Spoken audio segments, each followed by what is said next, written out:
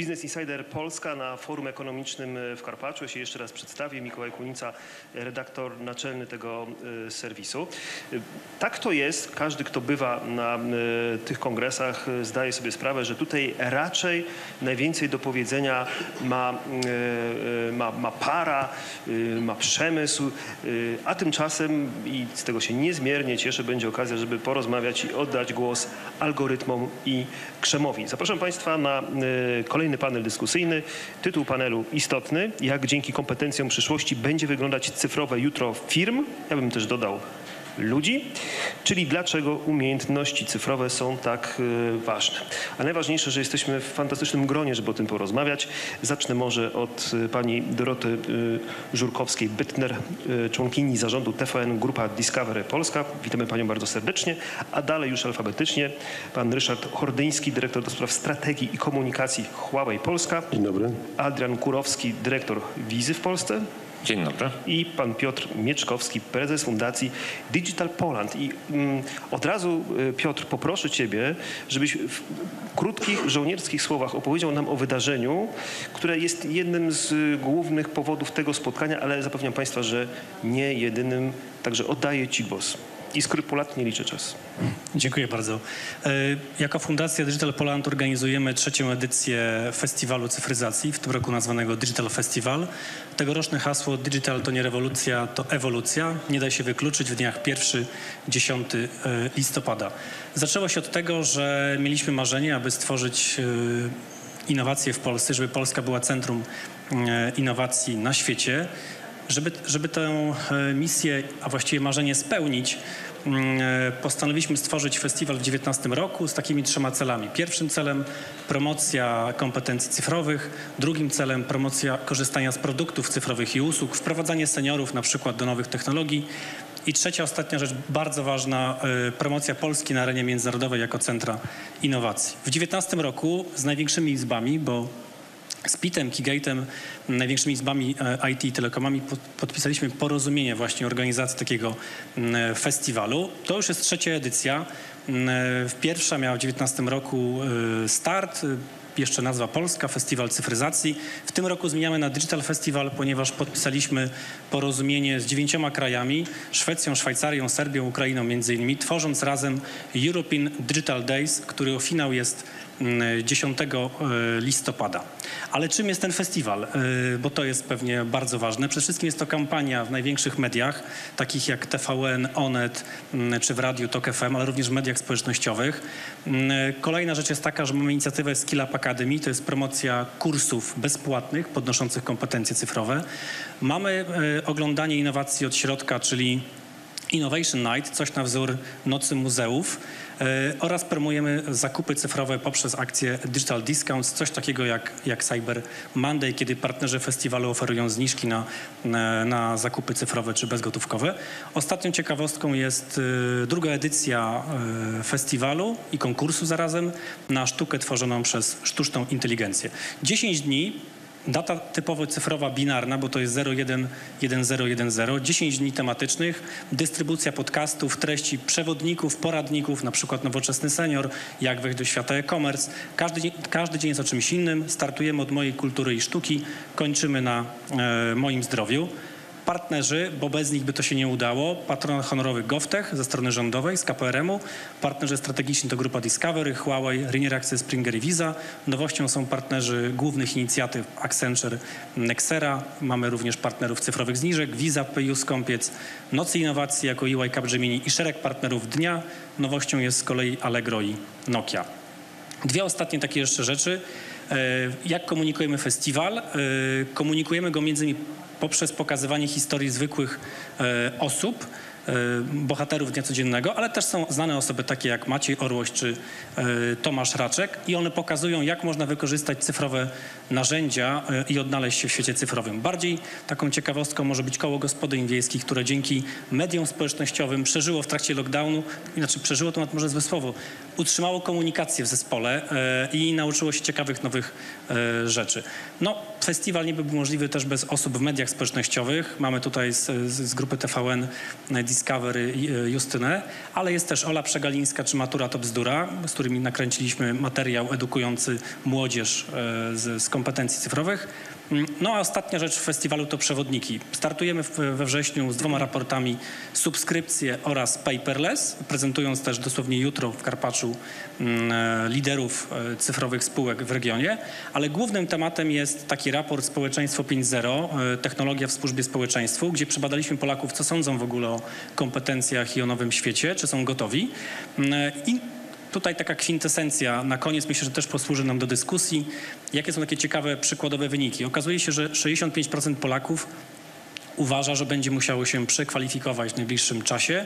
Prawie wszyscy, bo 92% mówi, że kompetencje cyfrowe dają szansę na lepszą pracę. 59 mówi z kolei, że nie wie czego się uczyć, czyli mamy problem co wybrać, a 53 z kolei mówi, że firma, w której pracują, nie będzie istnieć po roku 2030, jeśli nie będzie kompetencji cyfrowych. Dziękuję Piotrze za to wprowadzenie. Może wyświetlmy sobie ten slajd ostatni, żeby te liczby, jakieś twarde punkty odniesienia nam towarzyszyły, e, bo uważam to za niezwykle cenne. E, I tak jak pewnie jeszcze dwa lata temu, gdybyśmy się spotkali e, na takim bądź podobnym kongresie, to hasło cyfryzuj się albo giń podlegałoby jakiejś dyskusji. Dzisiaj dzięki doświadczeniom jednego, drugiego, trzeciego lockdownu wiemy, że to nie jest hasło, wiemy, że to jest rzeczywistość. Wielu z nas y, nie spotykałaby się w ogóle, gdyby nie cyfryzacja. Więc jeśli mamy zastanowić się, jak będzie wyglądała przyszłość, to chciałbym zacząć od infrastruktury, bo Pendolino nie pojedzie, jeśli nie będzie miało dedykowanego szybkiego toru. W Polsce jeździ niestety po ogólnym torze, w związku z tym te inne pociągi często e, miały, szczególnie w pierwszej fazie, długie przystoje. Więc jak jest z infrastrukturą? Czy w Polsce mamy taką infrastrukturę, żeby w bezpieczny sposób z tym wyzwaniem, które widzimy w tych liczbach, polskie społeczeństwo, polskie firmy, polscy przedsiębiorcy sobie poradzili? Huawei, jak, jak, jak wy to widzicie? Powiem trochę przewrotnie, i tak i nie. Tak, w tym sensie, że rzeczywiście jest szereg obszarów, y, w których ta infrastruktura istnieje i też szereg obszarów, można powiedzieć, funkcyjnych, w których obywatele polscy bardzo dobrze sobie radzą z cyfryzacją, ale nie też dlatego, że też jest szereg obszarów, w których tej infrastruktury nie ma. Y, Cały czas jest szereg y, miejscowości, czy nawet gmin, do których nie dochodzi internet. Nie mówię o internecie nawet światłowodowym, ale w ogóle internet. Jest sporo dzieci i rodzin, które nie mają komputerów, więc y, na pewno jest bardzo dużo do roboty, ale tak, żeby to tak jakby skwantyfikować, wydaje mi się, najważniejsza w tym rzeczywiście jest, jest edukacja. I tu na pewno szacunek dla Piotrka, całej fundacji, oczywiście wszystkich partnerów, żeby super roboty w tym zakresie, bo bez tej edukacji nie będzie jakby potrzeby, bez potrzeby nie będzie popytu i tak dalej, i tak dalej.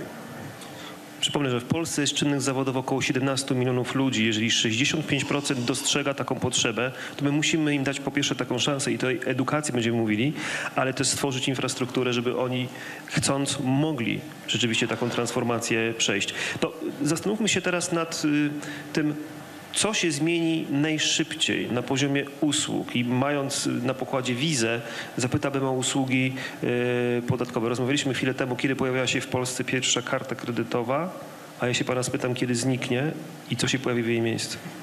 To tylko gwoli wyjaśnienia. Kiedy zniknie ostatnia, nie ta Tak. pierwsza, bo ta pierwsza pewnie zniknęła. 30 lat temu to nie była karta kredytowa, tylko karta obciążeniowa, ale to jest tylko szczegół, na pewno płatnicza.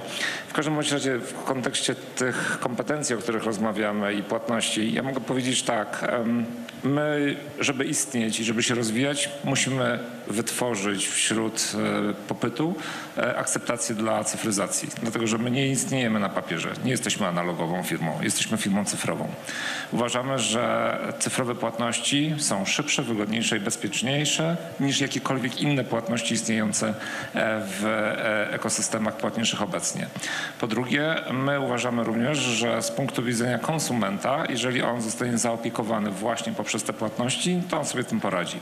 Teraz, co robimy, żeby to odnieść do jakby kontekstu tej nowej normalności, popandemicznej normalności. Zauważyliśmy, że w pandemii, szczególnie w Polsce, część mikroprzedsiębiorców no, miała problem e, z przetrwaniem. Pierwsza rzecz, która najbardziej chyba się rzuciła w oczy, to to, że biznesy, które były, tym biznesem nazywamy to takim rzeczywistym face to face, nagle zostały pozbawione jakby e, dochodowości, dlatego że zostaliśmy zamknięci w domach, nie mogliśmy wychodzić i skorzystać z ich usług. Naszą odpowiedzią na to było e, uzupełnienie kompetencji wydawców czy banków, które, które prowadzą jakby działalność e, mm, i relacje z tymi mikroprzedsiębiorcami o wartość dodaną polegającą na tym, jak stworzyć prawdziwy i łatwy sposób sklep e-commerce'owy. Jestem powiedzmy sklepem stacjonarnym, muszę dotrzeć do konsumenta, który siedzi w domu, a potrzebuje moich usług albo moich produktów. Czyli muszę stworzyć sklep e, internetowy. Tu jest cały konkretny playbook, którym po prostu opowiadamy, w jaki sposób to się tworzy. Notabene z Fundacją e, Digital Poland jakby stworzyliśmy poradnik, który będzie publikowany. Kolejna rzecz no to jest, trzeba tam jakoś wdrożyć płatność. To nie jest tak, że mam sklep, no i, i co dalej? Przychodzi kurier i mówi poproszę 100 zł i tu jest paczka. No nie, kurier mnie nie zostaje w domu, nie ma możliwości zapłacenia. Więc w ramach jakby tego, tego tej infrastruktury stworzenia prezencji w e-commerce musimy jakby zapiąć płatność. To jest współpraca z partnerami, bo Visa sama tego nie robi. Korzysta z usług agentów rozliczeniowych, którzy taką płatność tam zaoferują w wygodny sposób. Ale muszę pana dopytać, już nie będę drążył tej, tej daty, kiedy ostatnia karta zniknie, ale czy ta cyfryzacja i jej szybki rozwój nie jest dla was zagrożeniem? No bo ja sobie wyobrażam, że pan, moje dzieci się wchodzą w erę bankową pierwszy raz i wie pan, że nie wchodzą w karty kredytowe, tak? Płatności peer-to-peer, blockchain, no to jest, to jest disaster, to pozamiata klasycznych operatorów. No i znowuż tu mogę, jak mój przedmówca, odpowiedzieć i tak i nie. Tak, dlatego, że mamy baz, jest dużo rzeczy, jest dużo technologii, które są na tej platformie cyfrowej dostępne.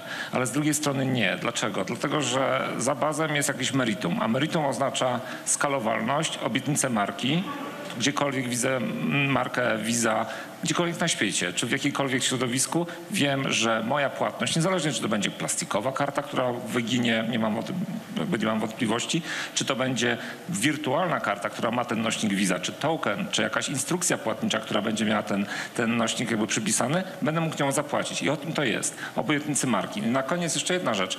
To jest trochę tak, że to są mody. Nasza firma działa od ponad 60 lat. Mam wrażenie, że jeżeli ta moda na, na wizę miałaby przeminąć, to ona by się już wydarzyła. Dla nas jakby pa, czas popandemiczny pokazuje, że moda na wizę dopiero przyjdzie. Okej, czyli Visa nie boi się fintechu, Visa nie boi się blockchainu, a czas pokaże. Nawet bym wchodząc w słowo tylko dopowiedział, że Visa mocno inwestuje w fintechy, skupując lub kupując nowe spółki, a patrząc na akcje zwyżkują.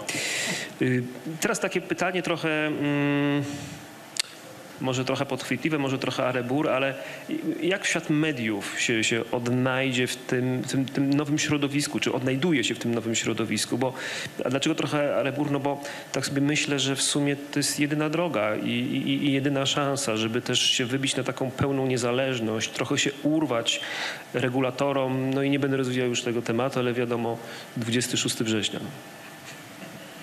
Myślę, dzień dobry Państwu. Myślę, że świat mediów bardzo mocno uczestniczy w tej transformacji technologicznej i, e, i, i te procesy e, cyfryzacji właściwie są pewną nową możliwością, z której my korzystamy, ale nie tylko korzystamy, a jednocześnie odpowiadamy też na potrzeby widzów, bo widzów i konsumentów, bo dzisiaj to, e, to o czym rozmawiamy i o czym tutaj mówimy, to, to też rozwój pewnych potrzeb, i, które wynikają i z personalizacji i z tego poczucia widzów i konsumentów, że, że chcemy wybierać, że mamy możliwość wyboru, że mamy możliwość podejścia in, w, konsumpcji w inny sposób mediów.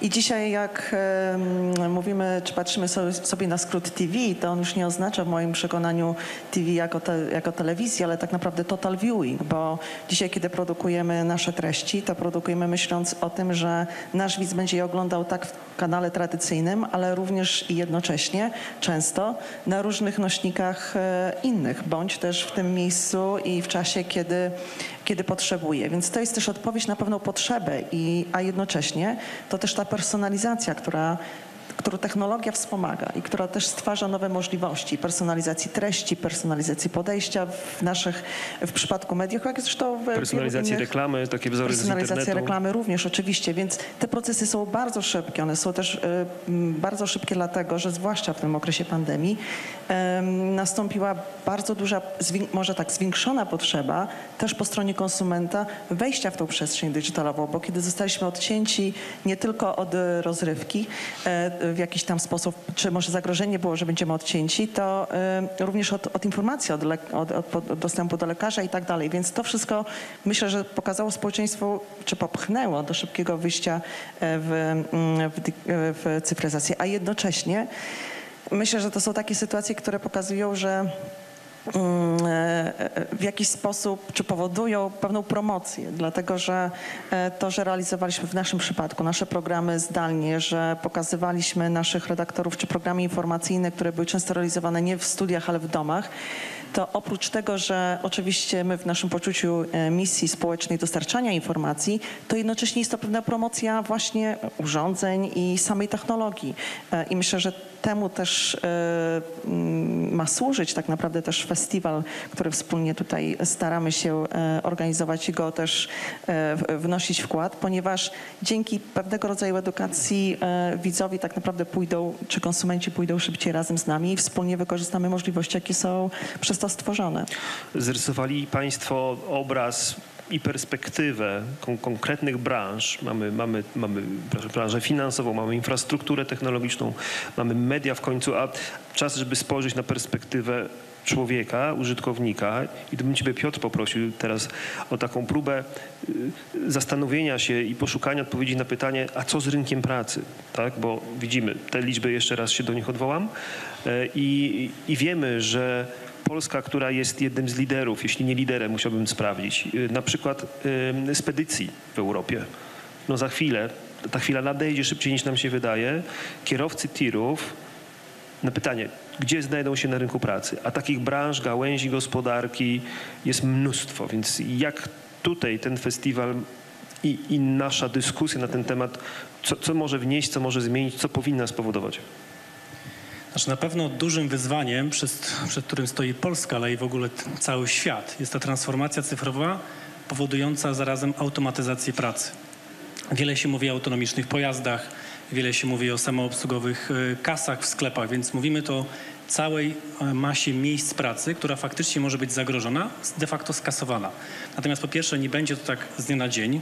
Myślę, że autonomiczne pojazdy jeszcze pewnie z 5-10 lat e, potrzebują No dobrze, ale w mojej branży komentator y, sportowy, prawda, czy nawet dziennikarz piszący sprawozdania z notowań y, y, giełdy w Nowym Jorku, mm, no, nie, zro- zrobi to gorzej, wolniej, mniej dokładnie, popełni błędy. W związku z tym to też jestem takim trochę zagrożonym zawodem.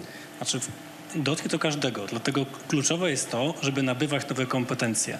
Dlatego, że e, do tej pory gospodarka i w ogóle rozwój gospodarczy powodował, że powstawało więcej nowych miejsc pracy niż było kasowanych. Każda rewolucja, która była, e, którą mamy za sobą, tworzyła więcej miejsc pracy, podnosząc produktywność. W związku z tym kluczem i też naszym działaniem w ramach tego festiwalu jest to, żeby edukować, ale przede wszystkim uczyć ludzi z uczenia się przez całe życie. Dlatego, że my jako Polacy mamy gigantyczny problem. W statystykach w Eurostacie jesteśmy na bodajże trzecim miejscu od końca w uczeniu się po odejściu ze studiów. Teraz kluczem jest pozyskiwanie nowych kompetencji.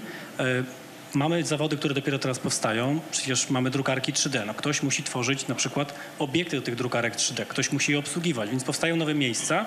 Trzeba się przekwalifikowywać. Na pewno musimy się pogodzić z tym, ale to myślę, że już teraz to się stało, kiedy mój tata 40 lat temu był dyrektorem fabryki i tą pracę miał przez 20 albo 30 lat.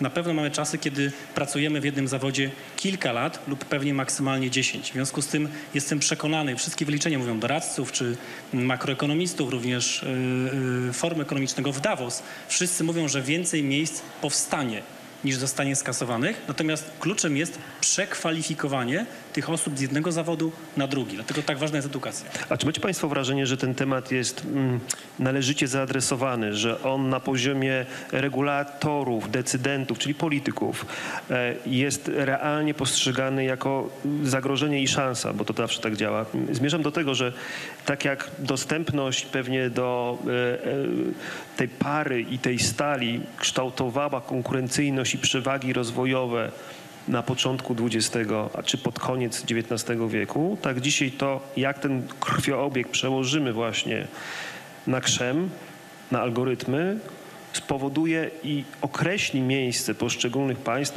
na mapie konkurencyjności globalnej. I wydaje mi się, mi się wydaje, że to nie jest dostrzegane. To, to jest, nie wiem, ile było paneli tego typu w Krynicy na ponad, trzy, przepraszam, w Karpaczu na ponad 300. Tu się cały czas dyskutuje i to jest agenda narzucana, no wszyscy o tym wiemy, przez polityków, jednak o węglu i stali.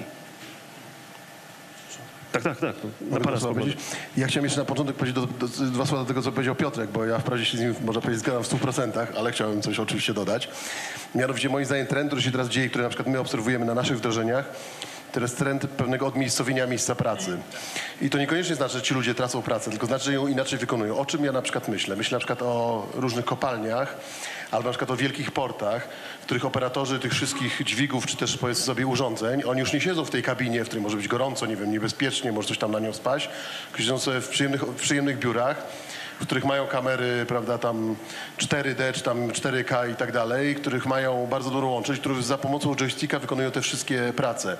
To powoduje, że taki operator może wykonywać naraz więcej pracy, jest znacznie bardziej efektywny, a przy okazji jego zdrowie no, jest y, jakby znacznie lepiej zaopiekowane. Natomiast wracając do tego pytania. Moim zdaniem, tak jak, jak pan powiedział, pan redaktor, tak jest we wszystkich branżach i przynajmniej we wszystkich branżach, w których my działamy, bo tak samo jest w zakresie 5G i telekomunikacji, tak samo w zakresie jest na przykład zielonej energii i e, związanych z zieloną energią, tak samo jest w zakresie samochodów autonomicznych i przepisów związanych z samochodami autonomicznymi, tak samo jest na przykład w zakresie ładowarek nawet samochodów e, autonomicznych, przy których też pracujemy, więc wszędzie tak jest, że te regulacje niestety nie nadążają. No i cóż, no ale jakby świat się cały czas zmienia w kierunku pozytywnym, więc być może to nie jest aż tak kluczowe, chociaż na pewno jest potrzebne. Znaczy ja bym tylko dodał jedną rzecz, że jednak jeśli chodzi o e, rządzących, za mało uwagi jest poświęcane prawdziwej edukacji. Mam syna, w, to jest zawsze pewnie najlepsze doświadczenie, mam syna w piątej klasie podstawówki. On się uczy tak jak ja 30 lat temu tych samych rzeczy. Niedawno też Rafał Hirsch wspominał o flecie prostym, który musiał kupić dla syna czy tam córki w wieku trzech, y, trzeci, w trzeciej klasie, więc to jest problem. Nie zmieniamy sposobu nauki i nie ma tu prawdziwej reformy, a raczej słyszymy o, o czymś innym. Jakoś najgorzej nie skończyłeś, no więc może syn też się tą drogą da radę. Ale już tak y, całkiem serio, y, chciałem was y, zapytać o ryzyka, tak? No bo mówimy o tym, jakie szanse to daje, ale na przykład ja, będąc zwolennikiem oczywiście digitalizacji, zawsze się boję o te pospiesznie wyrażane zgody y, na y, przetwarzanie danych. I, i, I wszyscy wiemy, bo to jest slogan już, że, że te dane to jest nowa, nowa waluta, tak? Że one pozwalają na mnóstwo procesów sprzedażowych, akwizycyjnych. No, można wyobrazić sobie tysiące kombinacji, każdy z was pewnie nad tym pracuje. I jak zagwarantować, że A, to będzie bezpieczne, B, że ludzie temu zaufają. To jest chyba też element y, powiązany mocno z edukacją. No mogę powiedzieć. Moim zdaniem wszystko zaczyna się i kończy w naszych głowach. Kiedyś to wszystko było na papierkach, te papierki były przechowywane w jakichś segregatorach, one czasami sobie fruwały, latały gdzieś, ża- nikt tego w żaden sposób nie kontrolował. Oczywiście nowe technologie pozwalają na przepływ informacji szybciej, więcej, niemniej jednak te wszystkie ustawy i te wszystkie ograniczenia raczej działają na naszą korzyść i na naszą niekorzyść, więc to, że pan ma prawo, pan ma, prawo, nawet obowiązek wyrazić tą zgodę lub nie, to jest na pana korzyść. Natomiast tu jest ważna rzecz i znowuż edukacja jest najważniejsza, bo na koniec dnia wszystko zależy od tego, co my robimy w tym internecie, szczególnie młodzież, ale pewnie my też, gdzie zostawiamy jakieś, jakieś tak zwane ślady po sobie cyfrowe, jakie dane zostawiamy, yy, co z nimi robimy, no, ja, na ile my się sami zabezpieczamy. To jest tak naprawdę najważniejsze, ale to właśnie wszystko zaczyna się i kończy na edukacji. Pociągnijmy ten wątek, bo wydaje mi się i, i też y, chyba tak jest y, faktycznie, że jak mówimy o sztucznej inteligencji, jak mówimy o, o algorytmach, to gdzieś tam jest taka, takie wyobrażenie tego terminatora. Rozmawialiśmy o tym y, chwilę, który po prostu nas pochłonie, przejmie y, i nie ma pozytywnych y, takich przekazów pokazujących pewnie nudne rzeczy, typu na przykład, no wyobraźmy sobie, co by było, gdyby y, COVID pojawił się przed wdrożeniem recepty, prawda, na przykład. I o tym chyba w ogóle nikt nie mówi, w ogóle nie wykorzystuje tego jako super drivera marketingowego. To ja może przyłączę się do tej dyskusji i powiem tak. Z naszego punktu widzenia e, algorytm ma służyć człowiekowi. My wykorzystujemy algorytmy, dlatego że sieć Visa, czy w ogóle skala działalności Visa to jest 3,5 miliarda instrumentów płatniczych w skali 200 miliardów transakcji w skali roku. Co oznacza, że to są dane nie do przerobienia, nie do ogarnięcia przez człowieka. I teraz nasze algorytmy pozwalają na detekcję transakcji oszukańczych w mikrosekundy. To są mikrosekundy. Jeżeli ja zrobię dzisiaj teraz transakcję po zakończeniu tego panelu i za jakiś czas wyskoczy analogiczna transakcja zrobiona tym samym nośnikiem gdzieś indziej, ileś tam mat, będzie ocenione i jakby na tej podstawie zostanie podjęta decyzja do wydawcy tej karty zablokuj kartę, bo nie jest to, odpowiada to profilowi zachowania tej, tej osoby. I teraz, gdybyśmy tego nie mieli, czulibyśmy się zagrożeni. Ja mam poczucie, że zaprzęgnięcie sztucznej inteligencji, uczenia maszynowego i programistów, którzy za tym stoją, pozwala mi czuć się bezpiecznie w świecie, o którym pan redaktor mówił. Coraz bardziej zdigitalizowanym, coraz bardziej dynamicznym i coraz bardziej powiedzmy sobie szczerze, nieogarnialnym przez nasze. My się koncentrujemy na trochę innych rzeczach. Na emocjach, na relacjach, na tym, że możemy tutaj z Państwem prowadzić tą dyskusję, na tym, że możemy się napić kawy, a takie rzeczy technologiczne zostawiamy gdzieś tam w backendzie. Ja może tylko bym dodała, że w, kontek- w kontekście festiwalu i tej edukacji festiwalowej e, mm, to właśnie jest właśnie pokazanie pewnych e, zależności, bo tutaj tak naprawdę mówimy o pewnej odpowiedzialności takiej osobistej w naszym zachowaniu, również odpowiedzialności takiej społecznej nasz, naszego, e, nas jako biznesu. I myślę, że pozytywne czy optymistyczne jest też to, że mówiąc o tej cyfryzacji i o technologii, która się rozwija, ta technologia jednocześnie dając możliwości, ona też się rozwija w takim, cel, w takim e, stopniu, że daje większe możliwości właśnie bezpieczeństwa. Czyli e, to też działa e, pozytywnie w, jakiś, e, e, w tym kierunku. I myślę, że jednym z celów przy festiwalu jest też pokazywanie wszystkich tych elementów, które, e, które tak naprawdę dotykają konsumenta, czy, czy nas jako konsumentów. Tylko pytanie, jak w jaki sposób przekonać do tego y, tych ludzi, którzy czują taką potrzebę, bo jest taki psychologiczny mechanizm. Ja, ja, ja nie znam nikogo, kto mm, y, poinformowany z takim komunikatem uspokój się, stałby się bardziej spokojny. To, to, to wzbudza, prawda? Więc pytanie, jak zbudować tą, e, tą komunikację, żeby, żeby transformację cyfrową na poziomie gminy, powiatu, miasteczka, wsi, no, wszystkich poziomach, o które nam wszystkim chodzi, realnie rozegrać. Wiesz co, to jest strasznie skomplikowana sprawa, ale w, w skrócie myślę, że tak, kampanie społeczne, rząd ma bardzo dużo do zrobienia, dlatego że w ostatnich e, latach, w zeszłym roku, dobrze pamiętam, płonęły na przykład maszty, ponieważ ludzie myśleli, że tam są już maszty 5G, w związku z tym były fake newsy, że mm, 5G powoduje COVID albo przynosi COVID, co jest w ogóle absurdem, bo fala A wtrącę radiowej... 5G niczym się różni od 4G i tych wszystkich innych generacji. Tak, to, to jest inna sprawa w kontekście fizyki. Natomiast mm, e, powstała, powstało kilka fake newsów, z którymi trzeba walczyć, więc podejmowane są działania. Po pierwsze, tu byśmy pewnie mogli długo, długo dyskutować, ale mm, fact-checkerzy, którzy obalają pewne, obalają pewne e, właśnie mity i fake newsy, e, kampanie społeczne. Trzeba zmienić, e, wprowadzić pewne rzeczy w edukację. Jesteśmy zapóźnieni w szkołach podstawowych. Pewne tematy jak edukacja medialna, poruszanie się w świecie cyfrowym nie jest do końca poruszana. Niby formalnie na przykład mamy y, wymagane jest 13 lat, aby założyć konto na Facebooku, Twitterze i tak dalej. Większość dzieci ma te konta w wieku już 9-8 lat. W związku z tym ta edukacja powinna się zmienić. Nawet pies mojego syna ma takie konto, więc... Więc edukacja, edukacja, edukacja. Pozytywne przykłady, które pokazujemy w festiwalu, czyli ludzi, którym się e, udało. E, przewodniki ułatwiające pewne rzeczy. E, I ostatnia rzecz, e, któ- która też się tutaj e, sprawdza. Duża ilość artykułów i materiałów dystrybuowana w największych mediach, rzetelnych mediach. A mi się wydaje, że język korzyści. Jeżeli będziemy w stanie opowiedzieć wiarygodną historię o tym, że dzięki takim, takim rozwiązaniom będziemy zdrowsi, będziemy mieli więcej czasu na swoje własne życie, relacje z ludźmi, będziemy dłużej żyć, będziemy więcej zarabiać. A chyba to wszystko są prawdziwe hipotezy pod warunkiem, że to wszystko zostanie dobrze przeprowadzone. Pani prezes. Tak, dokładnie. Myślę, że język korzyści zawsze działa na nas psychologicznie najlepiej E, i, i właściwe chyba te rzetelne informacje, które tu się pojawiają, e, pojawiły już w międzyczasie. E, To prawda, że też wydaje mi się, że świadomość społeczeństwa co do fake newsów rośnie, bo my też widzimy to na podstawie portalu e, Konkret24, gdzie, który był założony w celu tak naprawdę obalania fake newsów i pokazywania w jaki sposób je identyfikować i tak naprawdę największy ruch właśnie jest od widzów konsumentów.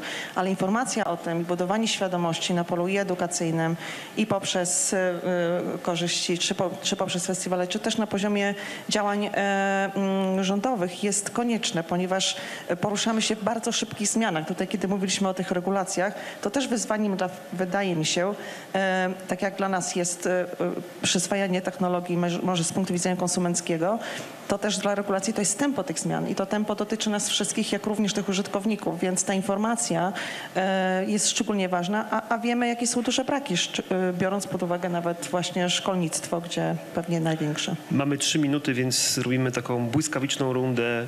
Zaczniemy od y, Huawei'a. Jakby pan miał postawić puentę, to jak ona by brzmiała? Okej, ale ty miał tych trzech minut jedno, że dopowiem do tego, co przed chwilą było Ale powiedziane. trzy minuty dla wszystkich. Słucham? Trzy minuty dla wszystkich. Okej. Nie, ja chciałem jedno, że tylko tak powiedzieć, wydaje mi się, że ona jest dość ważna, bo my troszeczkę tak z panem teoretyzujemy, bo wszyscy prawdopodobnie, tak jak tu siedzimy pewnie wszyscy państwo, mamy dostęp do nowych technologii, używamy ich w pełną świadomości i zastanawiam, czy może to nie jest niebezpieczne. Wszystkie badania i cała historia pokazuje, że tam, gdzie te technologie się pojawiają, to jest boom, czy tam, jak to powiedzieć po polsku, wzrost niesamowity, jeśli chodzi o ich użytkowanie i nikt się nad tym nawet nie zastanawia, więc tym bardziej ta robota od podstaw jest super ważna, ale ten problem się pojawia dużo wcześniej niż teraz my o nim rozmawiamy. Natomiast jeśli chodzi o skomentowanie tego panelu, nie, no to ja zachęcam wszystkich do uczestniczenia w Festiwalu Cyfryzacji w wielu różnych jego odsłonach. Są, to są super ciekawe tematy i na pewno bardzo ważne dla całego naszego społeczeństwa. No, tak pan rzucił taką puentę, to pewnie jest w imieniu wszystkich. Dokładnie. A ja bym już tylko dodał, że cyfryzujmy się bądźmy ambasadorami. Nie bójmy się tego. Zdecydowanie się podpisuję pod wszystkim, co zostało powiedziane i bym dodała taką pozytywną też e, e, chyba nutę w patrzeniu w przyszłość, więcej możliwości, korzyści właśnie e, z przyszłości i w byciu w online. Piotr? Ja bym dał tylko jedną rzecz. E, Ta ostatnia liczba, która była na końcu, 50 parę procent mówiło, że w 2.30 te firmy nie będą istnieć bez kompetencji cyfrowych. Więc ja naprawdę bym zachęcał każdego do podnoszenia kompetencji i uczenia się, bo to jest problem, wychodzi nam z badań, że nie uczymy się, bo jesteśmy leniwi, zawsze jest coś ciekawszego, ale bez uczenia się, bez pozyskiwania nowych rzeczy możemy się wykluczyć. A nasze hasło brzmi nie daj się wykluczyć, dlatego dystrybuujemy tą wiedzę, no bo te nowe kompetencje sprawiają, to mówiłeś o szansach, że możemy pracować na przykład również dla firmy z Dublina w tym samym czasie po zupełnie innych stawkach, co notabene niektórzy już wykorzystują. I jest to zagrożenie dla jednej i szansa dla drugiej gospodarki. To ode mnie jeszcze tylko tyle.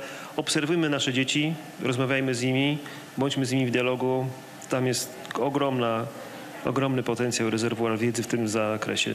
Bardzo Państwu dziękuję. Dziękuję też e, naszym widzom i słuchaczom. E, Ja się e, żegnam. Mikołaj Kunica, Business Insider Polska. Do zobaczenia. Dziękujemy.